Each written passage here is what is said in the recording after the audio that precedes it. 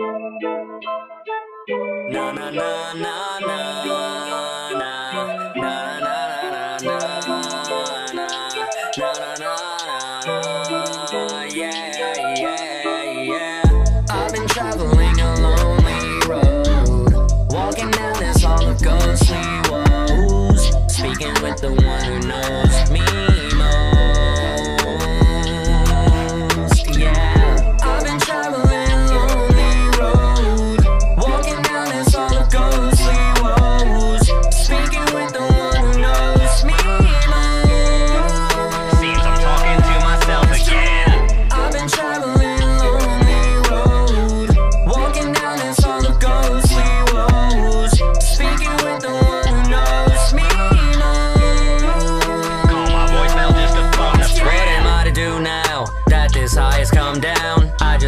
fell from my airplane and made contact with the ground. Guess I'll roll one and toke up, then think my thoughts aloud. Since it's so quiet in this climate, I can form a storm from my cloud.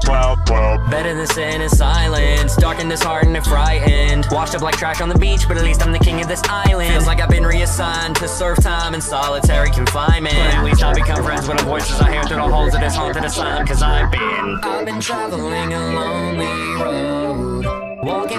This of ghostly woes. Speaking with the one who knows me most.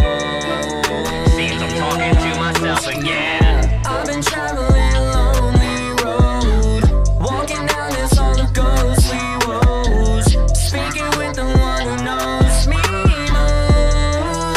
Call my voicemail just to phone a friend. But leave your name after the tone. Right now there's nobody home. He taught a slip not to wear his new jewelry. Now his life hangs in the ropes. Too close to fire, I fell in the oven by trying to touch on the stove. Atlas has fallen to crumbling morals that he always tends to uphold. Burned all the bridges I had deemed ungrateful. Maybe I lashed out in pain, acting hateful. Expected more than I gave in return to repay, so it turns out that I'm the unthankful. Internally, I'm causing anarchy, even though on the outside I seem to be tranquil. Seen and serene from the view that you see, but what lies underneath leaves me beaten and mangled. I feel uncomfortable in my own skin, often disliking what I see within. I'm told if I want to change my perspective, then put my mind to it, it's done in a cinch. Turn on some ASMR as I lay in the dark to hear positive affirmations. Signs of malnourishment, no more endurance. I start to live lives in which I've had a glimpse. Internal investigations of depth swallow me like a cerebral vortex. Stuck in a tunnel of cumulonimbus when split like a gymnast is hitting the stretch. I've made decisions with alternate visions in hopes that my wishes don't turn to regrets. But it's unfortunate that the distortion is caused by a series of my life events while I've been traveling a lonely road.